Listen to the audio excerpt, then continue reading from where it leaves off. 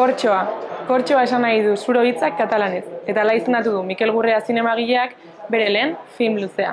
Zuro. Izenburu hori zergatik jarri dion jakin nahi baduzu, pelikula ikustea besterik ez duzu. Sail ofizialean aurkeztu duen filma, landaremu batean kokatu du, eta bikote baten bizi modu berria irudikatu du bertan. Filmaren gainean gehiago jakiteko, gure fokupera ekarri dugu bera. Gaurkoan fokupean, Mikel Gurrea. Euskal Zinemagileak fokupean jartzeko elkarrizketa sorta kursaletik. Mikel Gurrea, ongi etorri. Eskerrik asko. Landaremu batera bizitzera doan bikote baten hasierako bizimoduri kontatzen du zurok. Nola hasi zen historia hau zure buruan edo nola bururatu zitzaizun? Ba begira, 2000 eta amarrean, ni, ni donostiarra naiz, baina Bartzelona jo nintzen e, unibertsitatean ikastea, eta 2000 eta amarrean karrera maituta, gelitu nintzen pixka bat e, ez jakin gabe zehazki nora jo, Eta orduan e, onartu nuen nire orduko bikotearen e, senide batzuek eskaini ziaten proposamena zuroa kortxoaren e, udako kanpainean lan egiteko temporero modun. Mm Ezta, e, Kataluniako iparraldean, Gironako iparraldean, e, udan zehar. Han, testuraz eta soinuz oso aberatsa dan uniberso bat deskubritu nun, niretzako oso ez ezaguna zana eta oso zinematografikoa iruditu zitzaidana.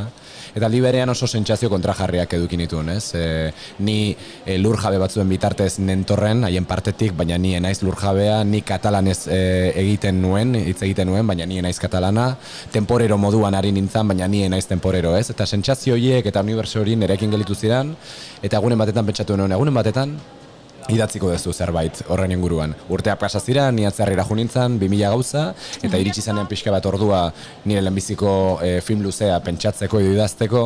Nik ja hogeita mabi urtean ezkan, bikote harreman e, luze batetan nengoen, eta ari ginen e, gure buruari ba, galdetzen e, oso unibertsalak diran e, e, zera, muñoiek ez da, e, nun bizi nahi dugu irian, landa ere muan, aurrak izan nahi ditugu bai ala ez, bizi gaitezke era sostengarriago batetan, ez da, nola bizi nahi dugu.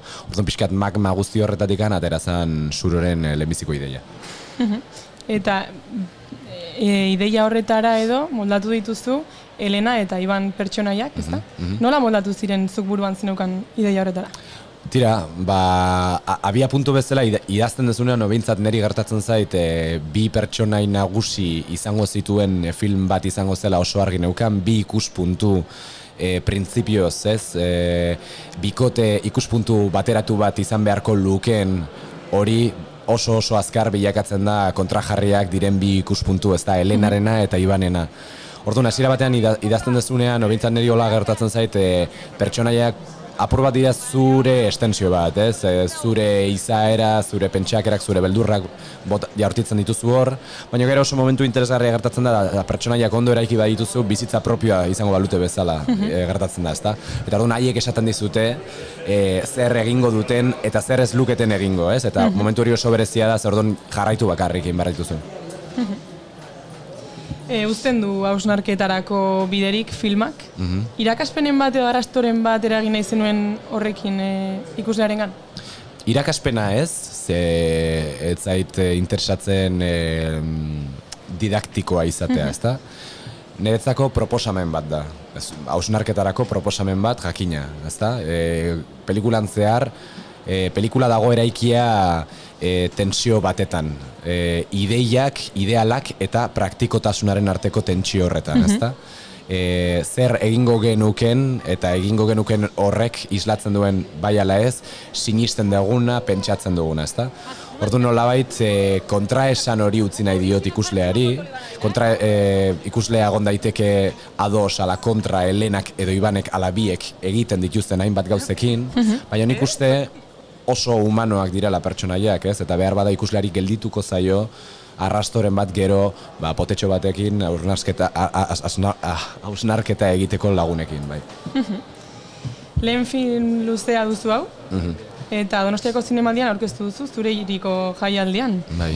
Sail ofizialean gainera. Bai. Nola sintitzara, nola zaude? Tira, atzo euki genuen emanaldia eta orduan orain daukat esaten den bezala biharamun emozionala, ezta? Bai. bai, erabatekoa, erabatekoa. E, berria jaso genuenean e, oso oso berezia izan zen. Ze nolabait baita ere proiektuaren lehenbiziko abia pausoak ikusmira berriak egonaldi programan eman ziren hemen donostian, ezta, eta ja Paul López aktorea nerekin etorri izan tabakalerako eraikinera improvisazio lanak egitera, gerora sekuentziak izango liran haiek idazteko. Gerora e, prozesu oso luze bat pasa genuen, orduan ama, 2006an geunden, eta pelikula pasadan urtean e, filmatu genuen, baina nolabait, komentatzen genuen gure artean, e, zirkulua itxi eta donostin saio ofizialean e, erakutsi alizatea lehenbiziko aldiz, oso oso berezia badauka zera bat e, pixkat bazakit har harmonikoa nola bait, ez? E, Zentzu bat dauka eta aldi berean ore, ore bada.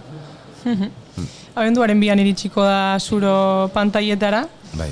E, ordura arte, zurok, ze ibilbide egingo du? Ba, badauzkagu e, nazioartean eta baita Espaini mailan ere hainbat eta hainbat zinema jaialdi konfirmatuta. Hemendik e, batzuk esan daitezkenak eta batzuk oraindik ezin dira esan, baina hemendik e, Donostitik zuzenean e, zuritxeagoaz, ba, hor baita ere leian egotea, saio ofizialean, gero e, Abizine Albazeteko e, jaialdira goaz, eta bilbideo paroa izo- izango du, ba, ia ia astero astero e, zera, zinemetara aiatu aurretik zuk esan bezala abenduaren bian. Ba, mil esker Mikel, gurean izateagatik. Mil esker zuei. Eta zuri entzule, ba, mil esker, horregoteagatik, pantaiatzean, eta gogoratu berria.eu satarian daudela, beste beste elkarrizketa interesgarri ikusteko. Es necessiten anys per aprendre a parlar. I si provem? Ei, Buenos días, un altre jefa. dia. Hola, ¿Quiere que la enseñe? claro. Vamos a probar por aquí a ver.